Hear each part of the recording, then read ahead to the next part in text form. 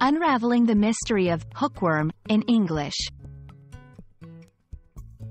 Hello everyone, and welcome to our English learning series. Today, we're going to dive into a fascinating topic. The term, hookworm. It might sound a bit strange at first, but don't worry, we're going to explore this term in detail, making it easy and interesting for you. Remember, Understanding such terms not only improves your vocabulary but also enhances your grasp of the English language.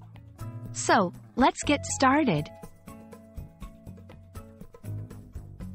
A hookworm is not a phrase or an idiom. It's actually the name of a small, parasitic worm. These worms are known for attaching themselves to the intestines of mammals, including humans. The name, hookworm, comes from the hook-like mouthparts these worms use to cling to the intestinal walls. This term is often encountered in biology, health-related discussions, or when talking about tropical diseases. Historically, hookworms have played a significant role in medical studies, especially in areas with warm climates where they are more prevalent. Discussing hookworms often leads to topics about hygiene, public health, and socioeconomic conditions.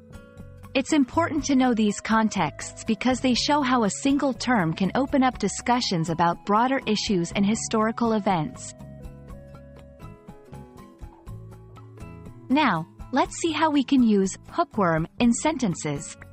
For example, researchers are studying new treatments for hookworm infections. During the field trip, we learned about the impact of hookworm on rural communities. The medical camp focused on preventing hookworm diseases in the region.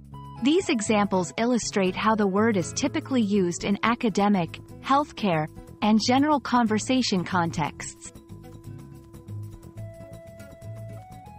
There might be some confusion between hookworm and similar sounding words or related terms. For instance, ringworm is not a worm but a fungal infection. It's crucial to understand these differences to avoid misunderstandings, especially in medical or academic discussions. I hope this video has helped clarify what hookworm means and how it's used in the English language.